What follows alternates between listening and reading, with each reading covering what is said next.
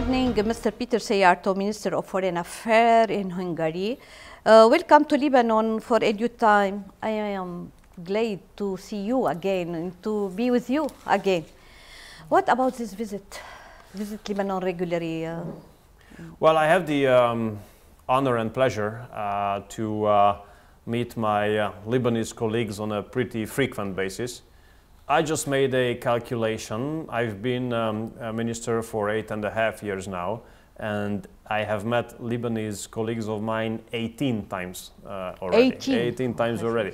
And uh, I have been a frequent visitor uh, here in Lebanon as well, which I really do enjoy because this is a uh, fantastic uh, country. And um, with Gebran, the former foreign minister, the, uh, the head of the FPM, we have made good friendship. And now I'm here based on his uh, invitation to uh, take part on the conference about the uh, Syrian displaced uh, persons and to inaugurate a church, the uh, reconstruction of which uh, has been financed by Hungary. And of course, as I'm here, I have taken the opportunity to meet your foreign minister to go through a very rich agenda of bilateral issues. Uh, you participate just now in this conference. Uh, for you, what uh, your opinion about this crisis? In your opinion, it will take end this crisis?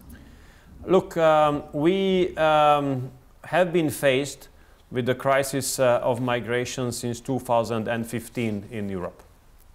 And our position, Hungary's position, has been always very clear. We do believe that uh, migration is a bad and dangerous phenomenon.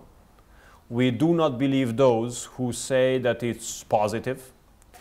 We have seen the consequences of uh, migration in Europe already. We have seen the establishment of, uh, of um, parallel societies. We have seen the total incompletion of integration. And uh, we have seen the um, loud minorities' pressure being put on the silent uh, majority to give up the values according to which they had been living for centuries or even longer uh, period of time. So in Hungary, we have been representing the approach that migration should not be managed, but it should be stopped.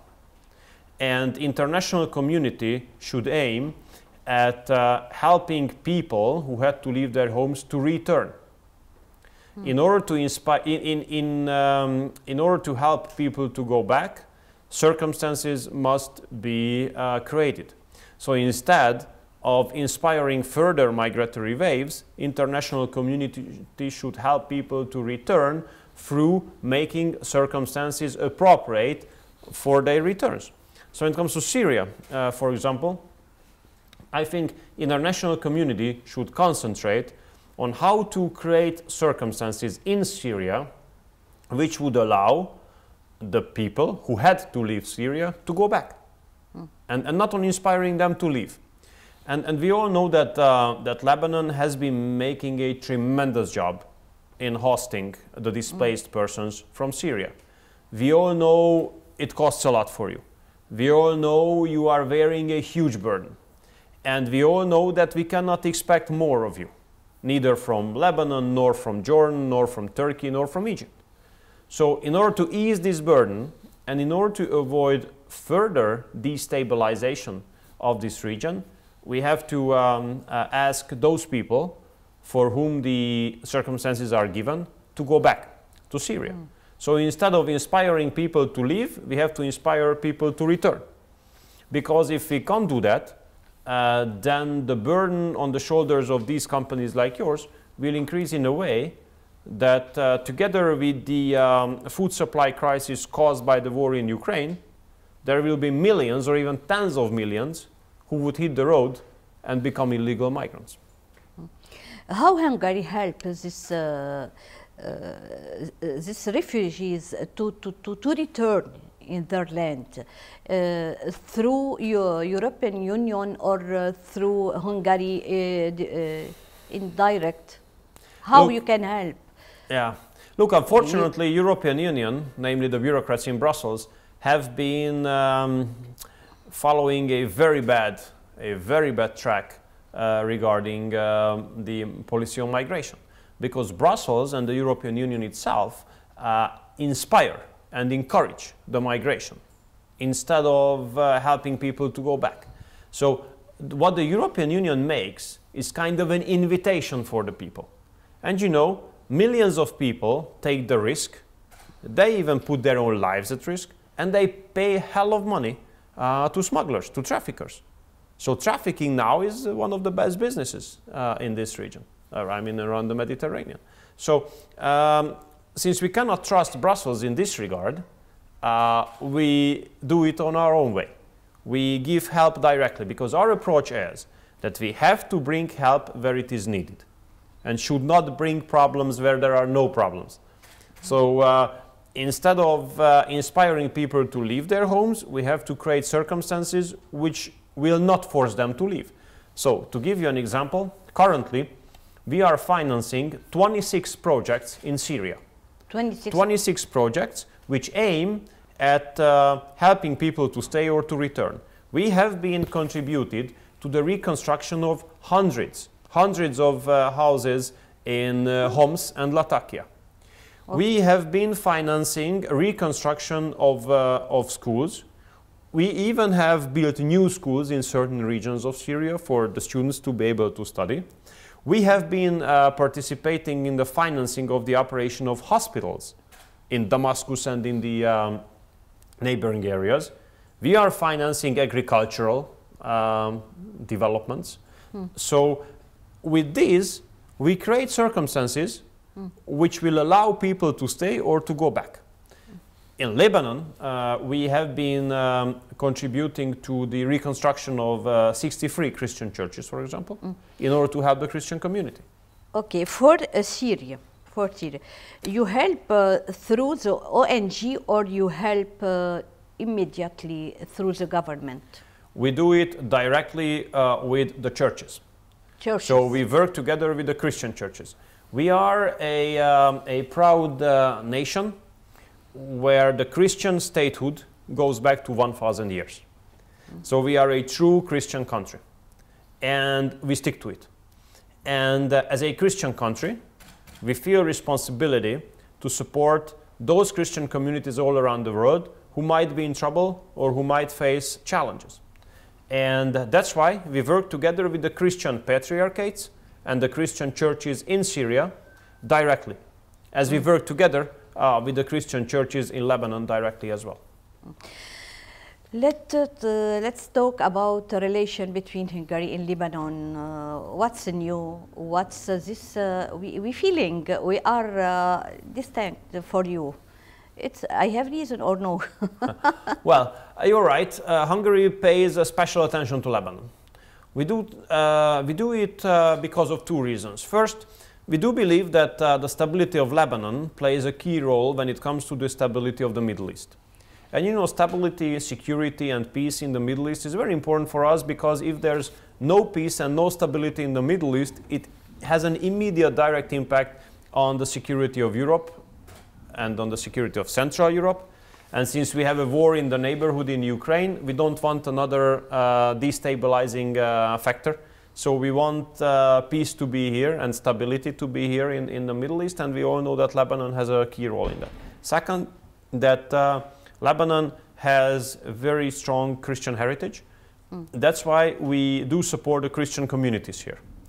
And when we ask the Christian communities, uh, so how we could help you, uh, they asked, they answered, the answer was that please save our churches because mm. our churches will save our communities.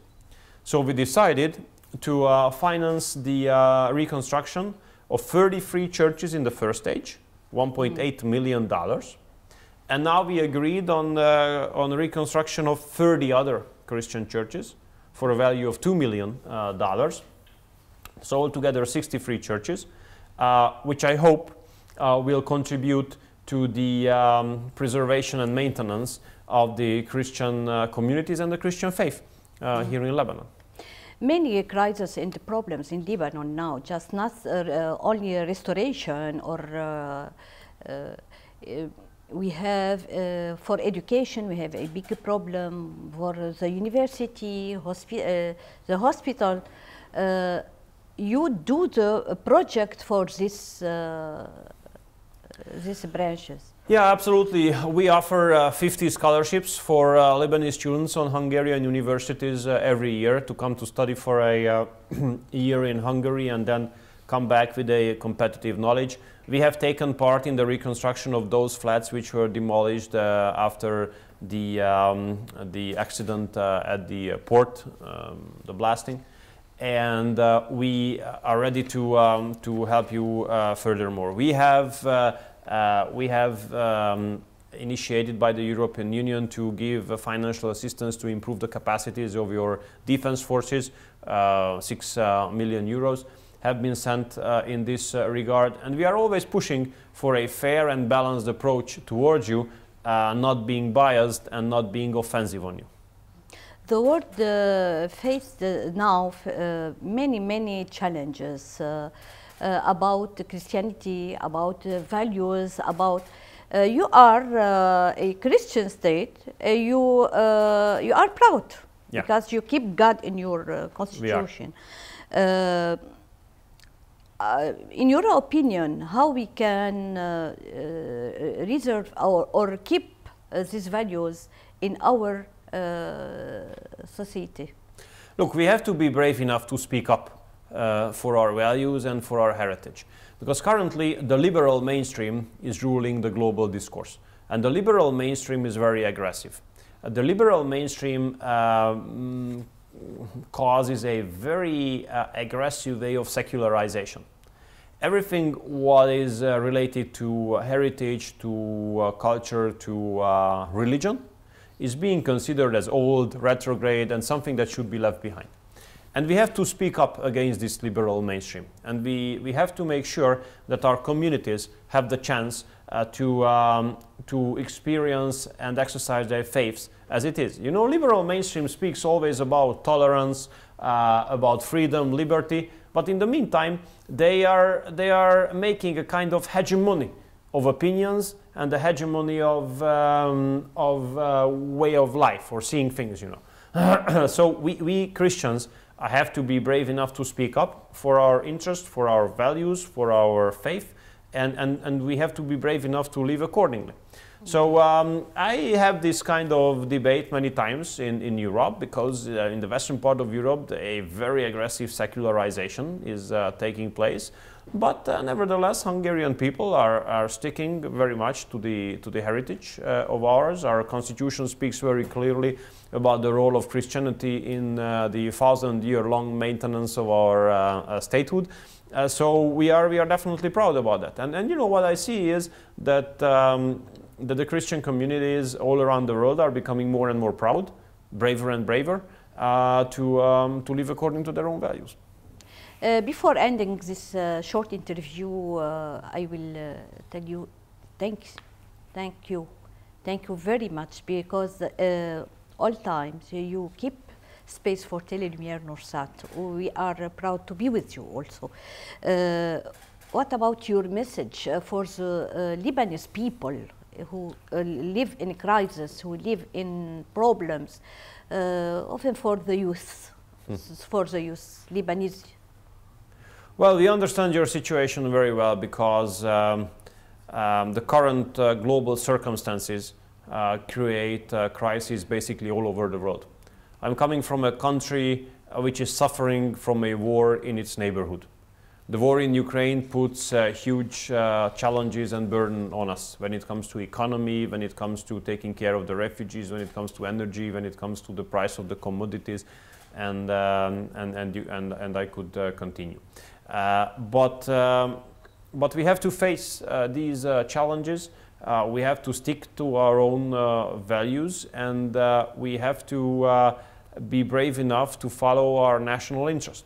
If we are brave and strong enough to resist the external pressure, if we are brave and strong enough to reject the um, attempts to interfere, into our domestic issues, then uh, we will survive and, and we will be even stronger after the crisis compared to how we entered. Uh, you know, uh, when it comes to uh, the political situation in Lebanon, then the Westerners uh, tend to uh, behave as teachers, um, thinking that they know more about Lebanon than you Lebanese yourselves. and we don't like this approach. They try to do it with Hungary always as well. You know, they try to tell us how to accommodate our own lives. They should, they should leave it to us. And we should leave issues in Lebanon to the Lebanese people to decide. So, and, and I, am pretty sure that if you decide according to your best capacities and your best knowledge, then, then things will be all right. What, what you, you should know is that Hungary will always stand uh, with you. Hungary will always help and assist uh, Lebanon. And we will always uh, fight and argue in the international political organizations for a balanced and fair approach uh, towards uh, Lebanon. And we will never judge, never criticize and we will make sure that uh, no pressure uh, will be put on the Christian um, uh, community uh, from outside and no pressure on the representatives of the Christian community either. Mr. Peter uh, Minister of Foreign Affairs in Hungary, thanks for you, thanks for your support for Lebanon in uh, all, also for uh, to be uh, always with us, have a nice short stay in Lebanon, and thank you. Thank you very much for this possibility, and God bless all of you.